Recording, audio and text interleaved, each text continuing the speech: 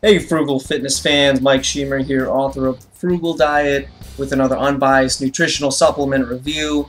I obviously have uh, the famous NO-Xplode here by BSN, uh, which is a very well-known uh, pre-workout uh, nutritional supplement, pre-workout mix. You take, um, you know, about 30 minutes before a workout. It's supposed to get you pumped up so you have the uh, best workout of your life and, you know, you you get so much uh, vascularity and muscle pumps that uh, you know you just lift a thousand percent more, and then at the end of the workout you end up looking like Triple H or Ronnie Coleman or one of the other people that uh, they endorse. But uh, you know, in actuality, I think it's a solid product, a pretty good product.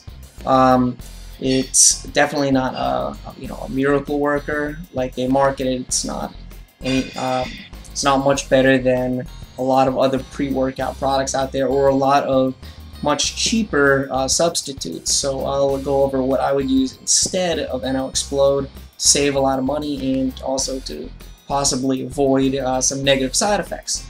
So from now on I'm going to be doing a mini disclaimer on any product that contains a lot of caffeine in it or uh, creatine. And guess what? NO-Xplode contains both. Um, it contains a lot of caffeine a lot of caffeine and other uh, related stimulants, uh, you know, taurine and uh, you know just different different uh, complementary uh, stimulant ingredients. There's almost almost too many to name. You you read the uh, nutritional content on the back. It's like reading an encyclopedia um, on you know performance nutrition. So it's got a lot of ingredients. Um, so first off, you know if you don't take caffeine supplements. Um, you know, and you're doing well on your workouts without them, then I would not recommend that you start taking caffeine uh, supplements that, you know, um, contain more than a small amount of caffeine. You know, the amount in a cup of tea or a cup of coffee is fine, but this has uh, significantly more, plus the other stimulant ingredients.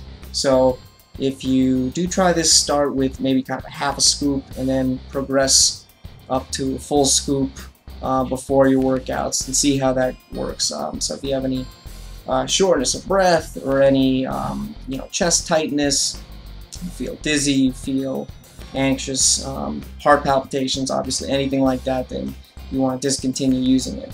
Um, I have this and I've had this probably for six months and I've only used about half of this container. Um, I don't use it very often, um, especially when I'm trying to get uh, more cut because while it does have the, uh, the fat burners, the B vitamins, and uh, the caffeine content, it also does have the creatine content, which uh, you know is more for bulking up and for uh, powerlifting than for trying to uh, get cut. So this this powder right here, it's about this 2.25 pounds, so about a little more than a kilogram, and you, know, you can get this for about $40 or so. Um, you know, they sell it pretty much anywhere now. They sell it, not only did they sell it on, you know, at, at GNC and on Amazon and on any other website, but you can find it at sporting goods stores now. It's it's everywhere. You get 25% more free. Oh, like whoop-de-doo. Um, so yeah, it's, it's not a bad value compared to some uh, other products out there that are comparable, but um, so it's a little cheaper than some of the other related um, uh, supplements. So anyways, you take a look at some of the nutritional information and you know you're to find that, there's 50 calories per scoop.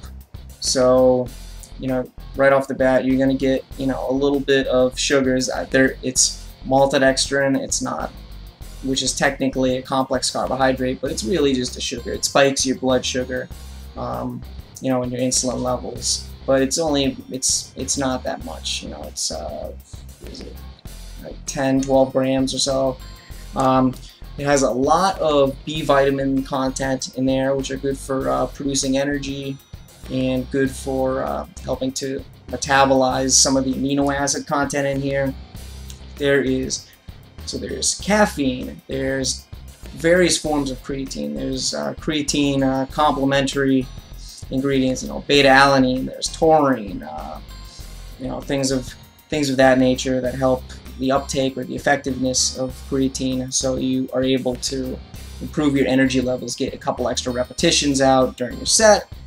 Um, you know, you take a look. There's a lot of uh, a lot of magnesium, which can be beneficial for um, your natural testosterone levels, such as in that ZMA supplements, the zinc magnesium aspartate. Um, and it also has uh, one of the most kind of um, popular and famous benefits of it, at least that they advertise, is that it has a lot of different uh, arginine, uh, vasodilating um, compounds, which basically relax your blood vessels so you get more uh, blood flow to the muscles.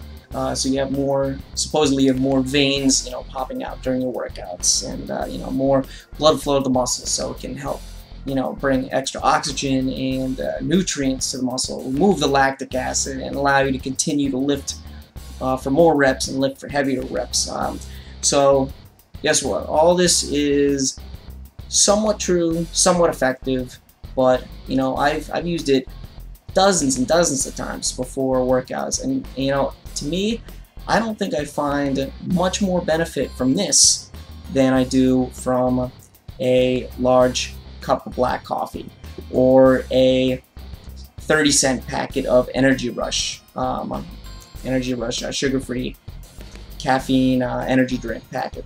Or, you know, you have a uh, half scoop of protein powder and guess what? Then you have a lot of those same amino acids naturally occurring in that whey protein. You have it post-workout. Uh, you can kind of make your own and it'll explode almost if you have an Energy Rush packet you have maybe a quarter or half a scoop of whey protein powder and then you put in you know uh, three to five grams of creatine monohydrate powder. Then you have a uh, poor man's NO-Xplode and that's usually what I do instead. And you skip out on about 50 60 different ingredients that can bother your stomach that can um, possibly give you negative side effects. There are a lot of warnings on here. I've never had any uh, major negative side effects of this, but uh, with so many ingredients, you could easily have an adverse reaction, um, you know, due to medication you have or a medical condition you might have, or, you know, with something else you're taking, some other nutritional supplement. So there are definitely, um, you know, possible times where this is not a good uh, nutritional supplement for you. So does NO-Xplode work? Uh, yeah, it works. It's, does it uh, work miracles? Is it a fantastic product?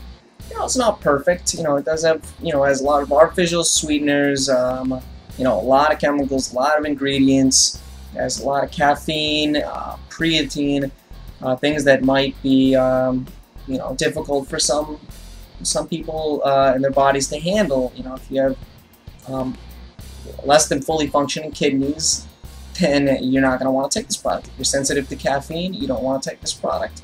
If you're sensitive to artificial sweeteners or some of these other um, ingredients that it has in trace amounts, then you don't want to take the product. Um, you know, does it create um, ridiculous muscle pumps and get you pumped up and help you improve your workouts? Uh, somewhat, sometimes. You know, I mean, I I wouldn't say ridiculous uh, muscle pumps. I've I've gotten better muscle pumps during my workouts um, just from a cup of coffee or half a scoop of whey protein or you know um, or nothing at all. So I mean, some it's not going to guarantee that you have you know the best workouts of your life, and um, you know it's not it's not a cheap supplement. It's um, you know it's a decent price for what it has. You know, and it has a lot of different um, substances in here and a lot of different performance enhancing supplements um, in each in the powder. And there are a lot of other uh, products out there. There's Super Pump, um, you know, 2500 or whatever it's called, doesn't matter. Uh, Super Pump, uh, there's uh, Nano Vapor, and they're, you know, very similar products. They're not going to be um, much better. Some people might say they are, or they, but the ingredients are about the same when you look at them, you compare them.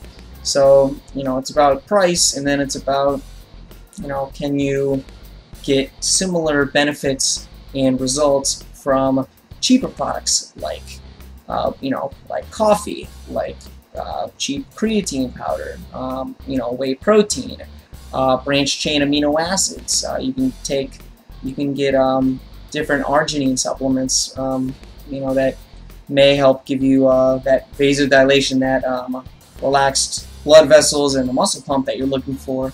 Um, you might be able to get that cheaper. So overall, I give it a solid rating because I'm comparing it to the other products out there of its type. Um, you know, is it something that I take all the time and that I've had incredible experiences with? Um, no, I've had I've had oh, you know average or decent experiences with them. Um, I've bought a few of them over a period of several years. Um, you know, a lot of people have taken it. Some people like it, some people don't. So I give it a pretty good rating, but you know, it's not a uh, it's not up there in my top supplement section. So pretty good. Uh, try it out for yourself if you don't have any of the uh, uh, medical conditions that I mentioned um, or any of the other possible interactions that I mentioned. Um, so try it out. It's at least worth a try for you if you're trying to step your workouts up a notch, increase your uh, increase your motivation a little bit, and really get in there and uh, give it your best bet.